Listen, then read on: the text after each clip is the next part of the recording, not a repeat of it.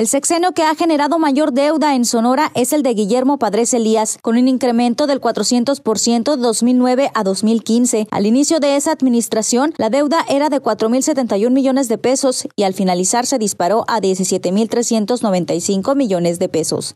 Marco Antonio Córdoba, vicepresidente del Colegio de Economistas de Sonora, explicó que en el análisis de la deuda directa del Estado desde 1998, en el sexenio de Armando López Nogales se registra un alza paulatinamente de 2.249 millones, pasó a 4.427 millones de pesos en diciembre de 2003.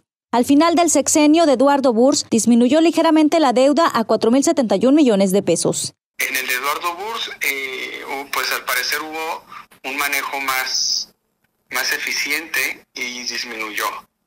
Y eh, con López, este, con Guillermo Padres, con Guillermo Padres se cuadruplicó en lo que va del gobierno de Claudia Pavlovich Arellano, se detecta un incremento del 30%, comentó, de 17.395 millones, aumentó a 21.587 millones de pesos.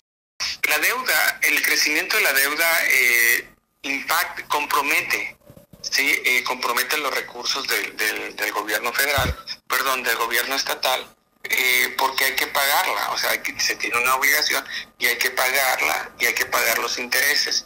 Entonces, a mayor deuda, sí, eh, las finanzas públicas pues tienen un mayor compromiso. Mónica Miranda, Mega Noticias.